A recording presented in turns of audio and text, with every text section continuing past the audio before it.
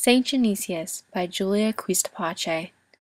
As some of you may know, I am a proud and dedicated member of the De La Salle and Carondelet Theater Arts Group, and when asked to do this project on a specific saint I could best relate to me and my faith, Saint Genesius, the patron saint of actors, was the first to come to mind. Every time company gathers in prayer, we end with Saint Genesius. I've often wondered why it was so important for us to pray to him. Who is Saint Genesius?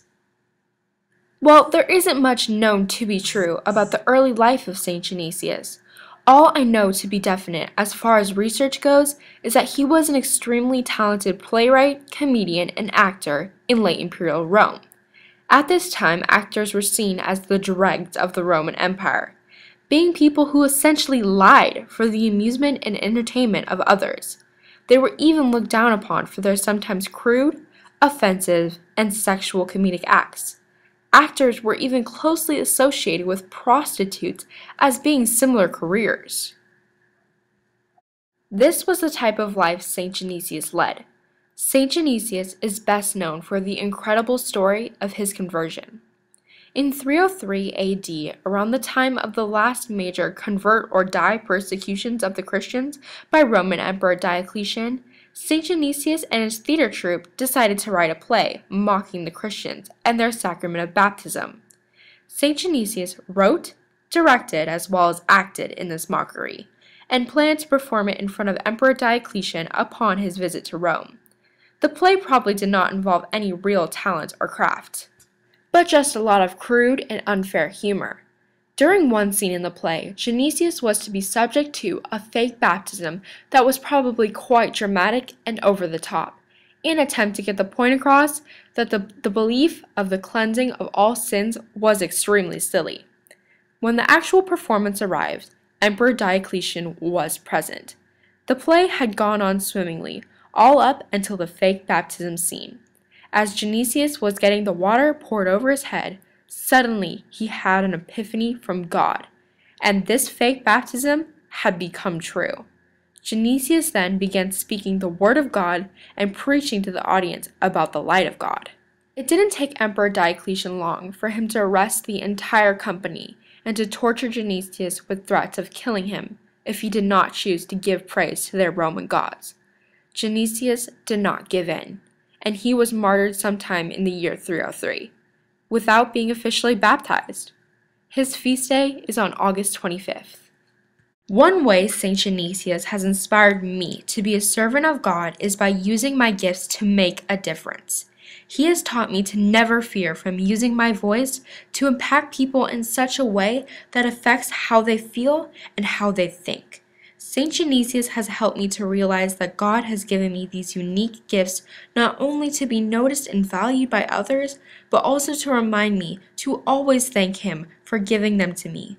St. Genesius has inspired me to never give up working hard towards something like a performance so that I can offer my gifts up to God, bringing me closer to Him.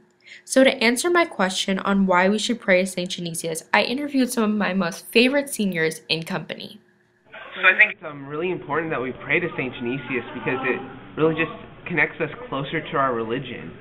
And I think he's also really inspiring because you know he gave his life. He was a martyr.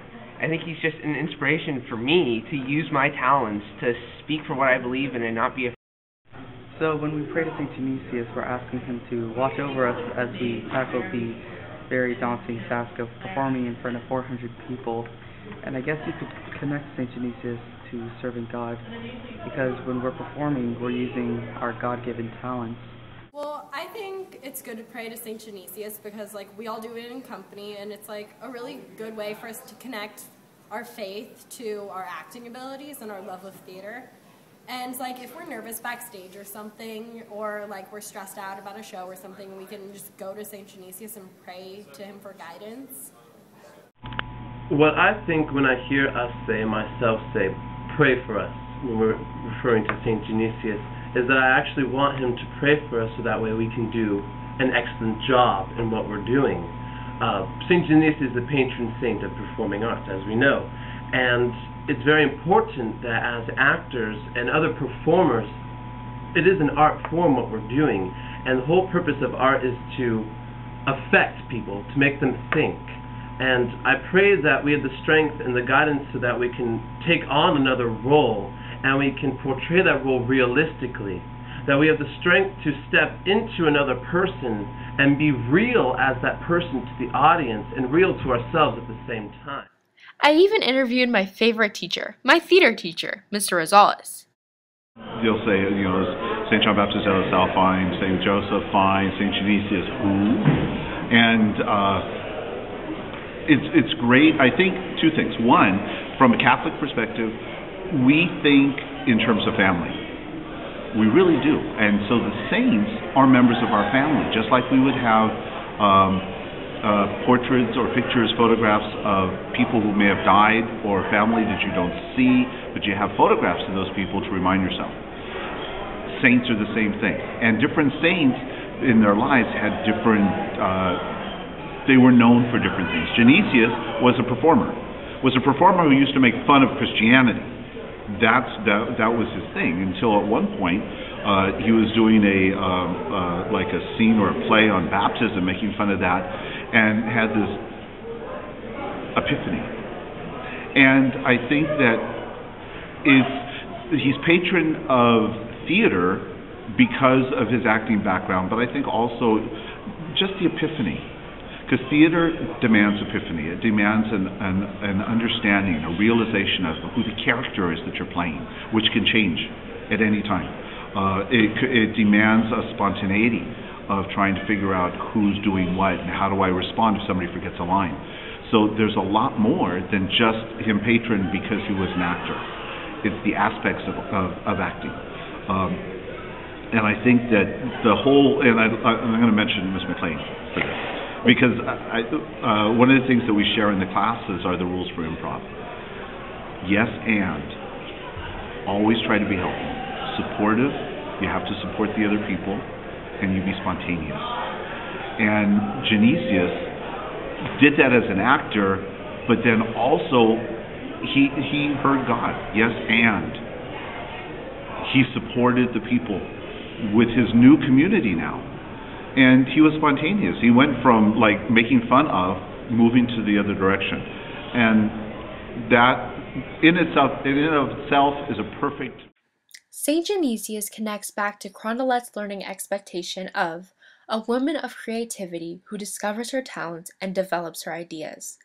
St. Genesius came up with creative ideas in which he could use his talents in many different ways writing plays, acting in them, and even directing them.